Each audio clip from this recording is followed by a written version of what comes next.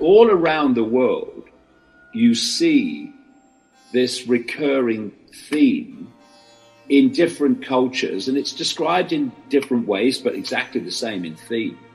We have a force, an expression of this Wetiko that takes a reptilian form. And the cultures around the world, again and again and again, when they're doing their creation myths, then some kind of reptilian, lizard like, snake like entities are described.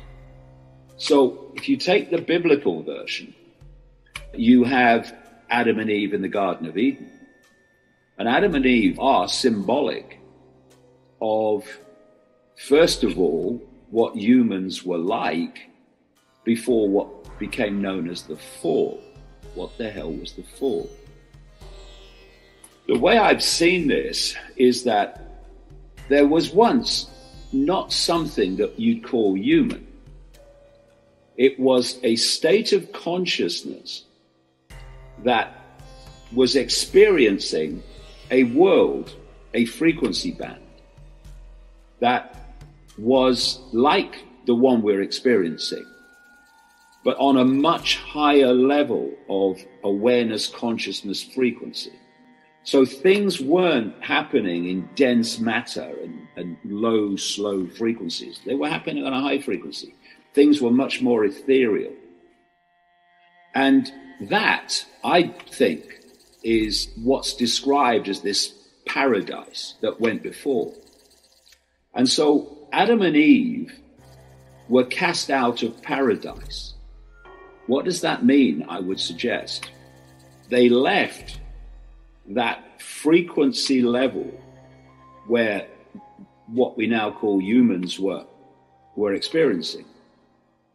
A, a world of love, of joy, of happiness, of, of all the things that happen when you get into high frequency states where so much more is possible. And they fell, the fall was down the frequencies into dense matter. And the villain in the Garden of Eden that is said to have been part of this or central to this is the snake. People have to think symbolically. I mean, this is not a snake that can talk.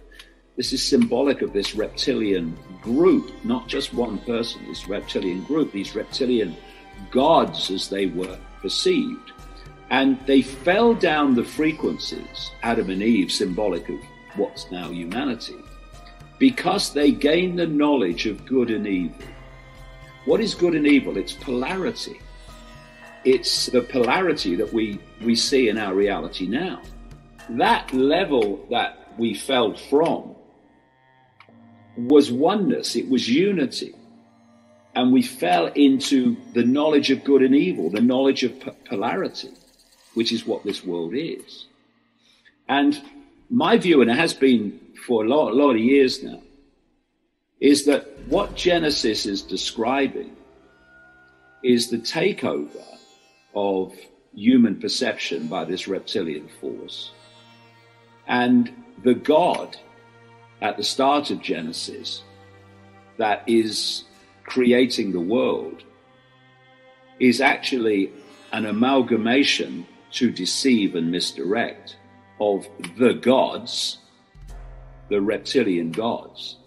And what's being described is not the creation of the world, but the creation of the simulation, the matrix. Um, and so when we hear lines like, and God said, let there be light, and there was light, I say what's being described is electromagnetic light, which is basically what this uh, simulation is. And I said just after the turn of the millennium that this is a simulation, and the walls of it, certainly at our level anyway, are the speed of light, which is not the fastest speed possible. That's a joke. We're dealing with all possibility here. That's the fastest speed possible. It's a joke it's the speed of the matrix of the simulation. And there was an article in Scientific American in um, April of this year where some academic said, We live in a simulation, and the walls of the simulation are the speed of light. And he was relating the speed of light in simulation terms to the processing speed. Because what is, what is physics? What is the law of physics, as, as we call it? It's whatever the creator of the simulation decided it was going to be. What are, in effect, the laws of physics of computer games? They're whatever the creator of the game decides they're going to be.